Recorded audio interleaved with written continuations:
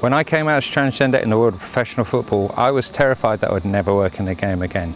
I had friends who were so scared of the response I would get from fans that they just didn't want me to go back. And yet the love and support that I received from fans and players just filled my heart with joy. Do you think that the game is now an inclusive place where players could feel safe expressing their sexuality or their gender identity? I would hope so. It would be a sign that the game was maturing, mm. That supporters were maturing, because there's a you could have an issue with supporters, you can have an issue with players. It's, they've always said to me, if we have gay players, why isn't it easier for them to come out? And then they worry about the effects from the supporters, like yourself, and you think sometimes that fear, fear is a difficult word because sometimes it can be unfounded, but it's what people feel and it might be what from holds them back.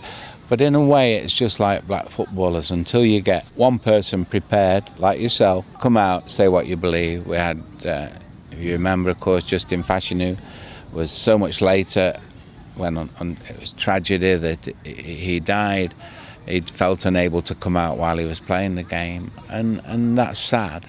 And uh, I like to think if we call ourselves a civilized society, then there has to be room to encompass all the different uh, issues, points of view, and give people a confidence to be able to say and not to feel, oh, I daren't, I daren't come out for the way I'll be treated. I daren't do this. I daren't do that.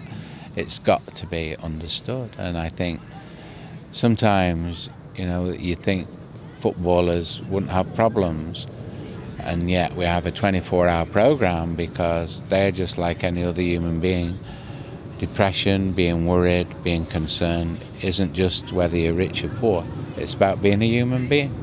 And from that point of view, I, am really pleased with our helplines at the PFA.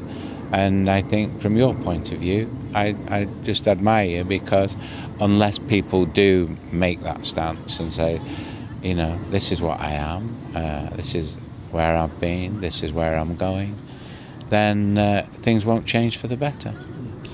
I mean, the thing is, I noticed it when when people are able to lead an authentic life and bring every aspect of themselves to the job.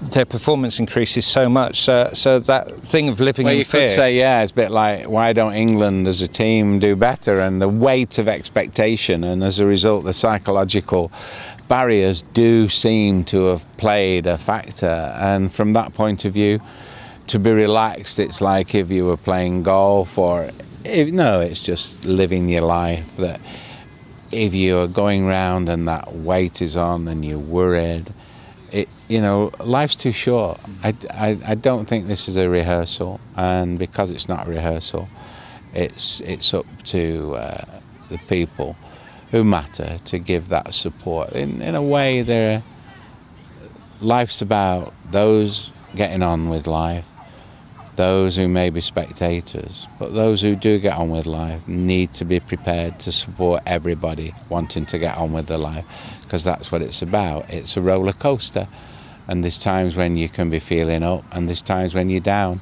and we don't want anybody to be, when they're down, to be on their own. The whole thing about football is that it gets so illuminated. It, uh, television, media, it's drawing in more money than ever before. It's in an economical position as well as in a publicity position to be able to be a force for good. This is Sophie Cook for latest TV news.